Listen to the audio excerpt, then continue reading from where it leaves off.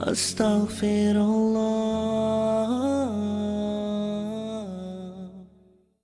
Really, if we are telling you a cigarette is not good and the doctors are saying so, the medicine is saying so, then you should learn to give it up for the sake of Allah. Perhaps that will be your entry into Jannah.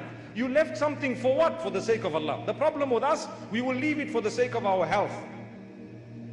I'm not saying it's wrong to leave it for the sake of your health, but you can convert abstention into an act of worship by intending the correct intention. I'm leaving it for the sake of Allah. And if you do that for the sake of Allah, naturally your health will also be protected.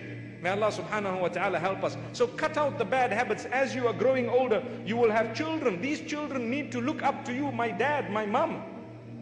But daddy is still busy doing things he's not supposed to do. Dad is still a child. He needs to grow up. Subhanallah. 30 years old and you find people saying, grow up, man. Grow up. I'm grown. I'm fully grown. Grow up in your head, in your mind, in your character, in your conduct, in your deed, in your relation with Allah. That is growing up.